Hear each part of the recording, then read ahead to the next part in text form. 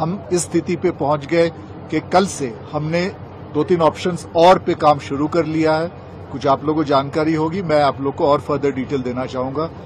पहला उसमें तो ये आ गया कि एस जो काम कर रहा है एस को हमने ये बोला है कि 1.2 मीटर डायमीटर एक मीटर से 1.2 मीटर डायमीटर का आप वर्टिकल ड्रिलिंग हमें करके दीजिए।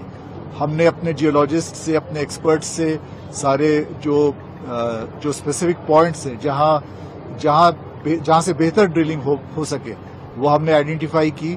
तो 305 के करीब 305 मीटर मतलब चेनेज की बात मैं कर रहा हूँ 305 मीटर की चेनेज के आसपास से एसजेवीएनएल ने ड्रिलिंग शुरू कर दी है।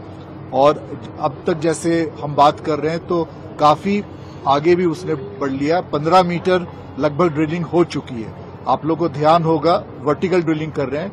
और आप लोग को ध्यान होगा कि हम जो स्पॉट आइडेंटिफाई किए थे 305 मीटर, वहाँ से ये हमारा अनुमान है कि छियासी मीटर ड्रिलिंग करना करना है टोटल तो उससे अगर 15 मीटर हो गया है तो हम सोच रहे हैं कि ये लगभग अगले कुछ दो दिन में ये ड्रिलिंग हो जाना चाहिए।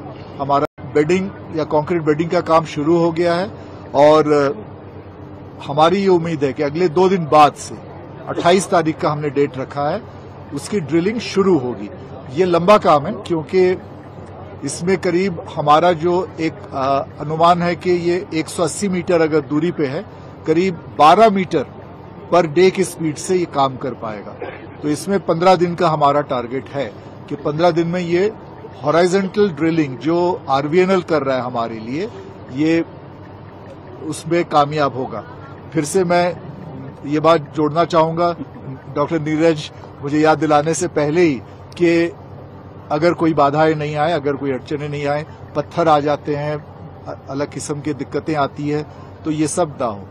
और ऑफ़ कोर्स हम, हमारा ये पहले से ही है कि हम एक ड्रिफ्ट टनल भी बनाए अलग से तो वो फेस ऑफ़ दी मक पे ही काम होता है वो। उसका भी हमने डिज़ाइन वगैरह तय कर लिया है।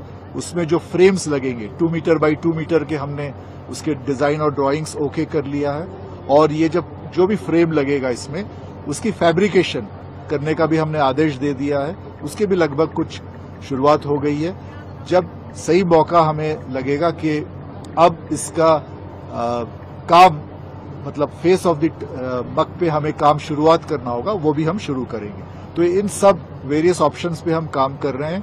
और टीएचडीसी का आप लोगों को पहले से पता है कि वो बरकोट साइड से ही वो हॉराइजेंटल ड्रिलिंग कर रहा है। वो चार ब्लास्ट हो चुके हैं, दस मीटर से ज़्यादा उसकी, उसका प्रोग्रेस है। वहाँ भी दिक्कतें आ रही हैं, वहाँ भी काफ़ी अड़चने हैं।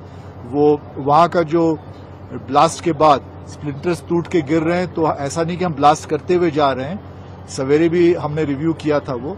तो ब्लास्ट कर रहे हैं, फिर शॉर्टक्रिट करना होता है ताकि वो पत्थर जो टूटा हुआ सब उसको सेट होकर रहे।